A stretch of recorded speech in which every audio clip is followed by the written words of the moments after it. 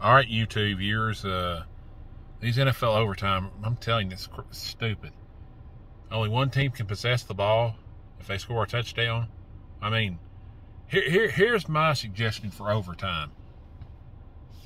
Each team gets one possession. If they both kick a field goal and tie, and both teams kick a field goal, or both teams score a touchdown, then it goes to sudden death. Next team to score wins. You have a 15 minute period. You play till there's a winner. That's it's simple. That's how you should do it. This is Kige Ramsey for YouTube Sports.